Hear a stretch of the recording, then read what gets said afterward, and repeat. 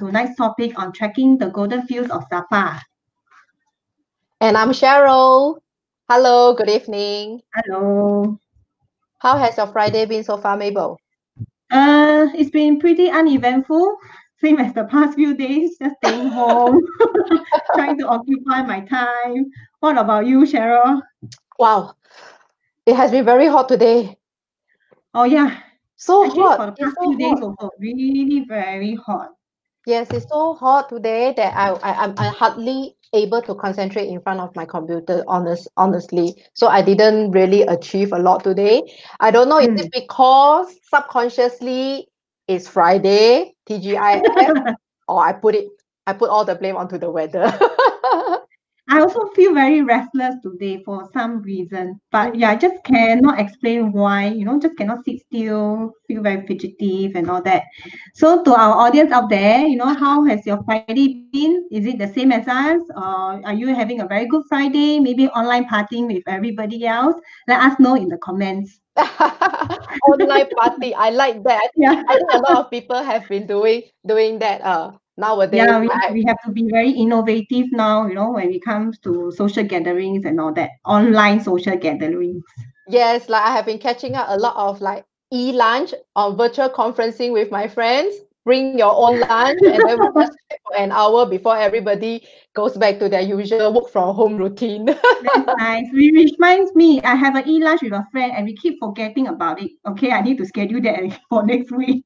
Yeah, don't forget, don't don't put aeroplane to your friend again. Yeah, sorry.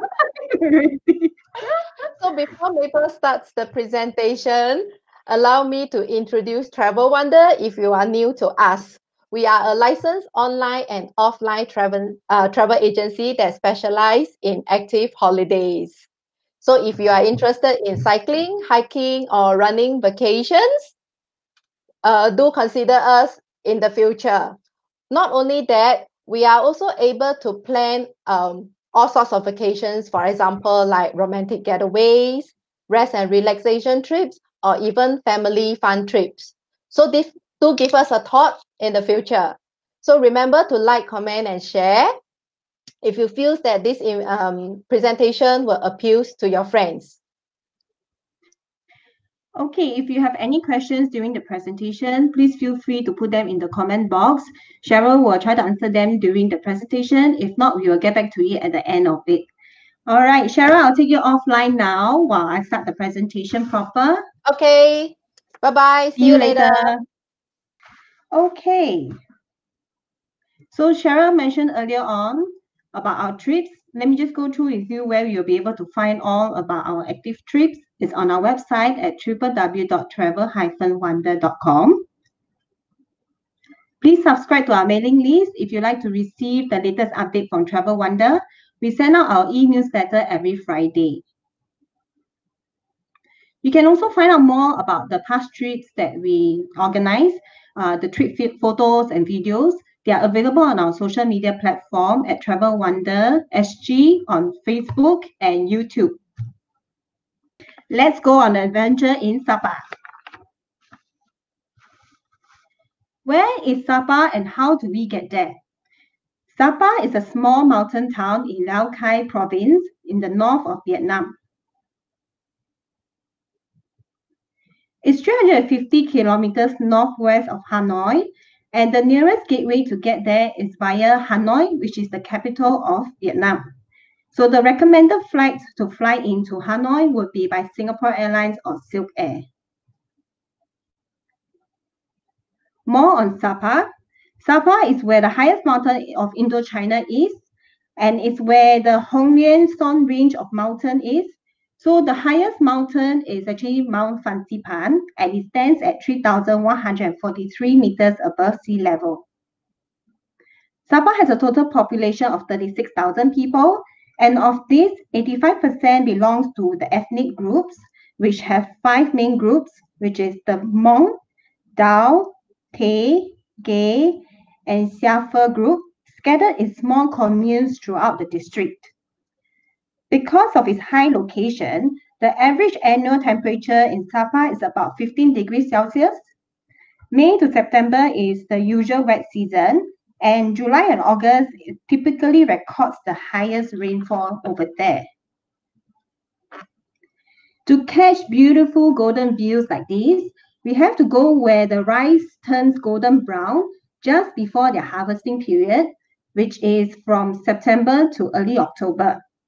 So this is one of the best time for trekking, even though there may be occasional rainfall here and there. Let me share the daily itinerary with you for our Trek the Golden Fields of Sapa trip. On the first day in Hanoi, when you arrive, because the flight is uh, arriving late in the morning, you actually have a good half day to explore around the vicinity of Hanoi city.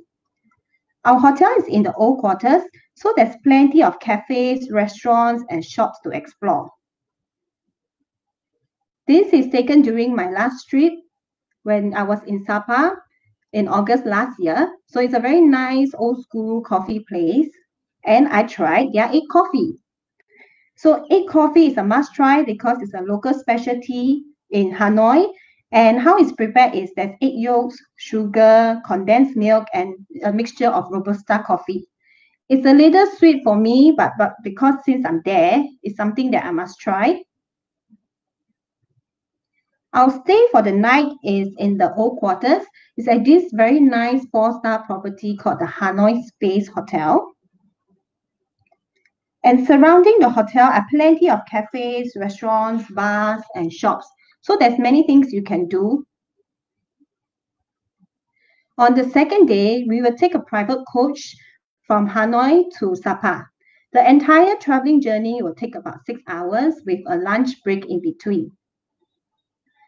En route, you'll be able to see plenty of captivating scenery such as this. And all these photos are taken using my mobile phone. If you are lucky, you'll be able to catch some animal action too. Here in Sapa, they rule the roads, not the vehicles. Every part of Sapa town is picture perfect, with the mountain range as its, best, as its backdrop. It's a very charming town to spend one or two nights there. As you can see, there's the lake. There's a very nice small little chapel. We will spend a night in the lovely Sapa Horizon Hotel, which is one of the best accommodation in Sapa town. And from the room, you'll be able to catch glimpses of the amazing views surrounding the hotel. So over the next two days, on day three and day four, that's where we'll do our trekking through the fields. We'll visit two different tribal villages, understand their way of life, enjoy the digital detox and the beautiful scenery as you trek. So what's to be expected over the next two days? Views like these will be commonly seen. I'm throwing in a few more pictures to give you the real feel of what the, the scenery will, will be like when you trek. You might be able to spot some buffaloes along the way also if we meet them at the right timing. And we may come across some farmers who are going to or maybe coming back from working the fields with their animals. We will be trekking through different terrains so you do need to wear the proper trekking shoe to ensure that you have a safe and comfortable trek. We will stay in a humble homestay for a one-night experience of real village living. So when you're in the village, it's all about authenticity. You know, uh, immersing yourself in the local culture, experiencing how is it like living in simple conditions for one night. You enjoy a spread of local home-cooked meals by the host. So for this trek, uh, there's home-cooked meals on for lunch and dinner on the first day of the trek, and on the second day will be breakfast and lunch. It's a simple meal, but it has lots of variety and cooked with love. So after the two days trek, we will return back to Sapa town where we'll spend a night in this cozy three-star hotel in Sapa which is by the lake, and there's a very nice rooftop bar. And this is in time to prepare for our new adventure the next day. So our adventure on day five is on a motorbike. Today's an exciting day as we take our motorbikes to explore places where we didn't get to see during our trek. For safety, there will be a local rider, so you will be pillion riding. We will ride up Tram Ton Pass, which is 2,047 meters above sea level, and there will be plenty of beautiful landscapes such as these winding roads of Ban Ho village, which you will see as you are going up. From the motorbike, you can get to see a wide overview of the scenery around, whereas when you're trekking, it's more of a very hands-on close experience. So along the way, you see beautiful images like this Lao Chai village. And you can observe the farmers going about their daily work routine as you ride past their farms.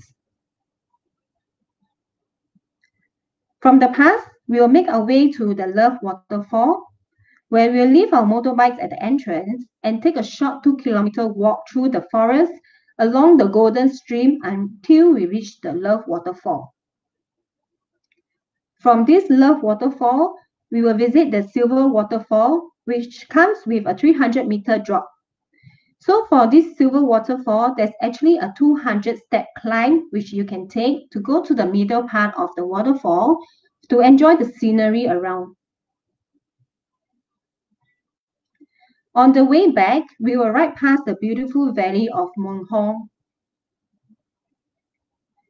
After our motorbike adventure, we will return back to Sapa Horizon Hotel for our last night in Sapa. And on the last day of the trip, we will make our way to the airport right after breakfast. The transfer will arrive uh, Hanoi Airport at 3 p.m. So for your flights, please arrange it after 5 p.m. You can find out more details on this trip on our website at www.travel-wander.com under Wander Collection. Okay, let me bring Cheryl back on screen to see whether there's any questions raised.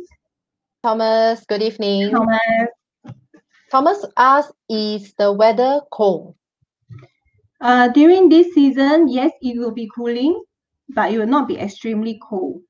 Roughly, probably an average, what is the temperature like that? About 15 to 20 degrees. At night, it can be a little bit chilly, especially when you know we are out in the village trekking because there's no heater and it's really out there in the nature. So um, yeah, it, at night you might drop down to between 10, 10 to 15 degrees thereabout. Mm, okay. Angeline asked, what is the elevation again? Are we expecting any like a tough climb? Uh, no, it's not a tough climb. It's not, Angeline, it's not like what we did for Fansipan last year, where it's uh, no elevated climbs all the way. This will be like gentle trekking, just that um, there will be different types of terrains and must be prepared to get muddy and dirty lah, in terms of your shoes and all that as we trek through the villages. Yeah, but there will not be steep, uh, steep ascents along the way. Okay, Mhm. good. Priscilla asked, is it suitable for beginners?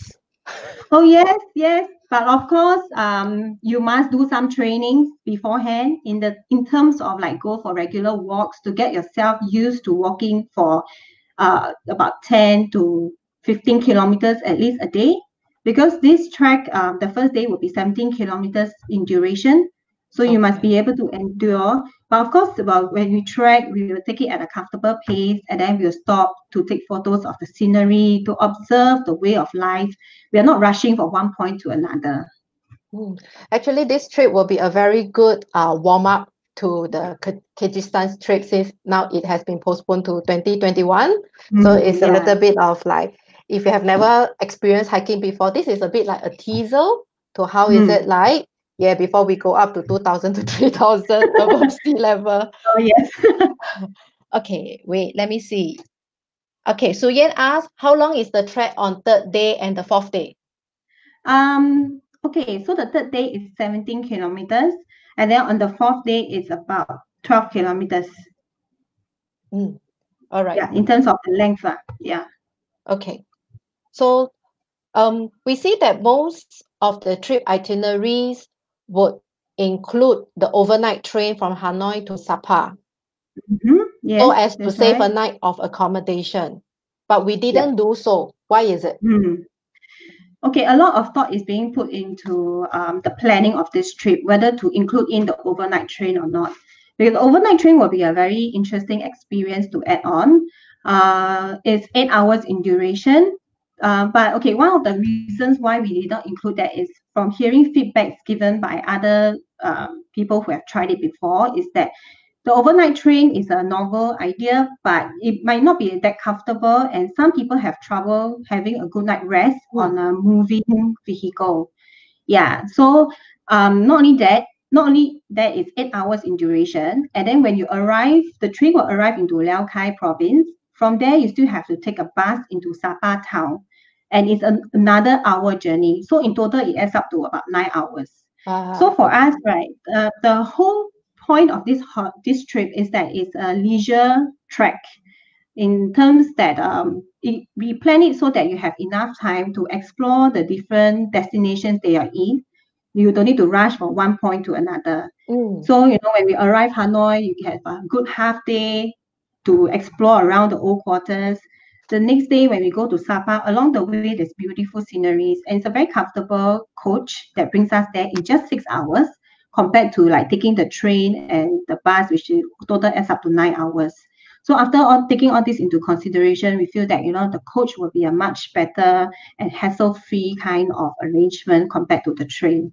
mm, I think it makes sense because if you take the train and then with that extra hours of transfers here and there, the total travel duration will comes up to nine hours and Yeah. on a overnight. Whereas if you take the day coach, it Mm. only takes all in all six hours. And, and and I think that along the way into the countryside, definitely there are a lot of sceneries that Yes. uh, the group can enjoy. Yeah, Yep. that's true. Yep. Mm. So if you have any questions to ask us or ask Mabel regarding to the trip, please uh, type it in the comments and we will um, answer them one by one. So I have another next question. Okay. Angeline asked, does the coach comes with Wi-Fi? It depends. If you are lucky, yes, it will come with a portable Wi-Fi, but we cannot guarantee that. Okay. All right. Just a minute. Uh, I'm trying to copy the itinerary link and put it into the comments so that uh, those who are interested can have a look. Okay. Next question. On day Mhm. five, there is a motorbike adventure. yes, that's right. If I have a motorbike license, can I ride Uh-huh. the motorbike myself instead of being a pillion rider? Yes, you can, but provided you are a very proficient rider here in Singapore. So no P plate license. I'm asking on behalf of someone else. yeah. because um over there also one thing is um because the road conditions you might not be Mm. very familiar so if you are if you really wish to ride the bike on your own and you're a very confident rider we will not stop you from doing so but you must not overtake our motorbike lead at any time for safety reasons yeah Okay. And then if I do not want to ride the motorbike at all, Mhm. not even as a pillion rider, okay can I still be part of that day's excursion to the paddy fields? Mm, unfortunately, no, because there's no other alternative uh, vehicle arrangement for that. But what you can do, because if you don't wish to uh, participate in the experience, is that um, you can take the day off to explore Sapa town by foot. It's a lovely town, lots of nice small little cafes, small streets that you can spend a good time walking and exploring around. And on our side, uh, for this experience that you're not going on, we will work into, uh, we will look into a small reduction of the trip price for you. Oh, okay, good. Mm. That's good. Good to know. On the last day, the Mhm. transfers to the airport. Ah, Um, okay. If I want to extend in Hanoi, can Yes. the coach actually drop me off at the hotel in Hanoi first before going to the airport? Okay, um, actually from Sapa, where we are traveling down into Hanoi, we will pass by Hanoi Airport first. So that's Mm. the reason why we decided to end the trip in the airport rather than in Hanoi town. So I from see. the airport, um, actually, if you want to make arrangement to go to town, it's not difficult because from the airport you can always grab the local taxi to bring you there. And it's not very expensive also. It ranges about 15 to 20 US dollars for about a 40 minutes ride, depending on the traffic. And the but if let's say you're not comfortable with taking the local taxi, you can arrange to ask your hotel that you are extending with in Hanoi to book you a private transfer to bring you there. Mm. Because we already know roughly that we will reach at 3 p.m. So you can let them know what's the time you'll be at the airport and you can pick you up. One thing is um, a lot of times people might be wondering whether is it safe or not to take the taxi overseas. For this one, uh, it's not safety is not an issue at all. The only thing is you need to prepare in advance is probably the hotel address. Because uh, don't just tell the taxi driver the hotel name because they might not be very familiar where exactly it's located. So it will help if you prepare the address in advance and you give them the address so they know exactly where to drop you off. Okay. And the address must be written in Vietnamese. Yeah, in their local language. Okay. William asks, is vegetarian meals available throughout the trip? We can arrange, but if once we arrange uh, vegetarian meals, right, it uh, actually it's for the trek because the other parts of the trip, the meals are not included. So you can actually make arrangements on your own. So during the trek, we can ask requests for vegetarian meals. You'll be cooked vegetables. Uh, the variety may not be as much as the rest who are in the same group as you, you know, but we'll make sure that we are well fed also during the trek. Angeline, Angeline says that Hanoi serves very delicious vegetable fried rice. okay, I know that this um trip, or rather most of our programs in Mm. northern Vietnam, we are working with um the first ethnic minority owned not for profit travel partner in Sapa. yes, So right. how our partnership can help in promoting sustain sustainable and responsible tourism over there. Okay, our partner, the reason why we chose this partner is we are really impressed with the work that they are doing. You know, Mm. it's not just for themselves, but also about giving back to the community, especially the community in Sapa. Because um, this company that we work with, our partner is the first and at the moment the only social enterprise in not only Sapa but the whole of Vietnam. Oh, Okay, how what they do is um, for all the trips that we book with them or anybody book with them, part of the profits goes into educating the children of the ethnic right, uh, tribes in Sapa. And they have these uh, hostels that they built to house the students so that they do not need to travel, you know, every day from the small village down to town just to receive the education. So for this um, hostel that they built for the students to provide them education, food, lodging, and all that, uh, it costs 100 US dollars per month per student.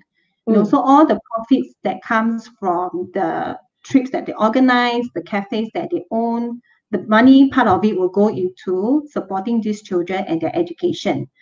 And not only that, um, when we go on their tracks, the people that they employ are also from the ethnic tracks themselves in Sapa. So they don't believe in um, employing outsiders. You know, they always believe in giving back to the community, and that allows the community people to want to strive to do even better. And maybe one day they will be able to step out of the, you know, the com- the the village life and do something for the community, giving back to their own community as well. And when they interact with people during the trips, uh, that's where they can brush up on their English uh, language and all. You know, so it, it helps. Uh, it's a very healthy network social system. good, very good. It's very meaningful. Yes. Yep. Let me see. Okay, we don't have any more questions. So that's about it. So if you have any more questions that come up uh, after the whole Facebook session, it's okay. You can always WhatsApp to us at 8714-3321 as you've seen on the screen. 8714-3321. Send us WhatsApp. Okay. Back to So, you, uh, Weber. Before we end today's session, I'd just like to share with you that next week on our midweek chatter with Wander Gals, which happens on Wednesday at 3:30 p.m. on Facebook Live, we'll have our friend from Italy who will be coming down. I mean, to come Come coming down. online. Coming. I hope he can come. He'll be coming online to share about me and Cheryl's favorite European country, Italy. And next Friday, Cheryl and I will be sharing about our own experience when we cycled in Kota Tinggi and in Malacca during January this year. Okay, and that's it for us to, uh, tonight. Thank you and good night. Good night. Bye-bye. Bye.